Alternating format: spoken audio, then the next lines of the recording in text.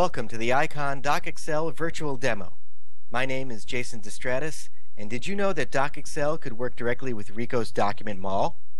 You may have already known that you can scan a page directly to your email address, a fax recipient, or even to a folder on your desktop. Now you can also scan directly to Ricoh's Document Mall, an offsite file repository.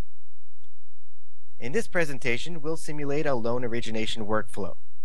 In this case, a customer needs to submit three documents that will all need to be reviewed by a loan officer in another office. Start by selecting Workflows.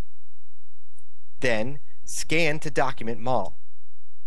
Select Document Type, begin with Pay Stub, and click OK.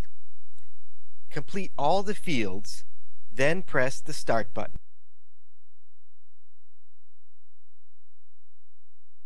The pay stub is scanned by Ricoh MFP.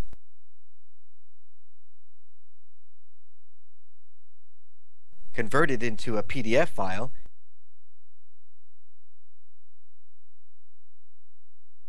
and sent directly to Ricoh Document Mall for storage and retrieval.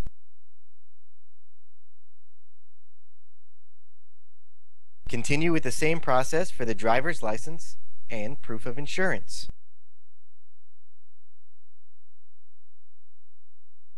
This presentation simulates specific document types needed for loan origination. However, these document options can be customized to facilitate your specific workflow.